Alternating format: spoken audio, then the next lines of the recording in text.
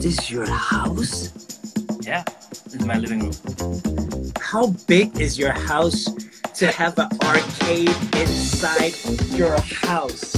让王嘉尔也吓歪的豪宅，就是 J J 砸四亿多买下两百零九平的内湖豪宅长虹天喜。林俊杰对台北房产情有独钟，光是内湖他就投资了七个亿，俨然是演艺圈的内湖王。因为这里有高度隐秘性，也是媒体重镇，要上班赶录影，对艺人来说非常方便。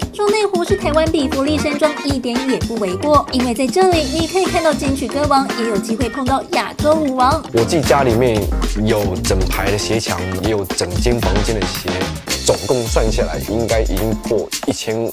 说到近三十年的小猪罗志祥，陆续在内湖美国在台协会对面文心 AIT 买下四户，上下各两户，打通店超奢华楼中楼。除了有比潮店还狂的鞋墙、公仔专属小房间、精品墙，还可以在家吹冷气、开车兼玩高尔夫。要装下这些高档娱乐的豪宅，要价自然很不一般。两百七十四平，总价四点八亿。买家的 bonus 就是除了小猪，还可以和胡昌明夫妻 and 宪哥当邻居。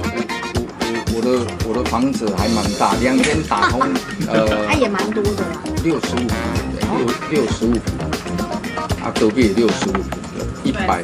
一百三十五，我住一个人嘛。除了刚刚提到的文心 A I T，总价两千八百万元到四千九百万元的豪宅 Victor 家里也有宪哥的份。人家是狡兔有三窟，他光是内湖行善路这条街上就有十窟。如果是单身狗的你，来到 Victor 家里，还可以顺便体会一下粉红泡泡，因为这里有不少明星 couple，包括王伯杰、谢欣颖，还有赵又廷、高圆圆。如果再多走几步路，也能顺便跟赵马克的老爸赵树海打声招呼。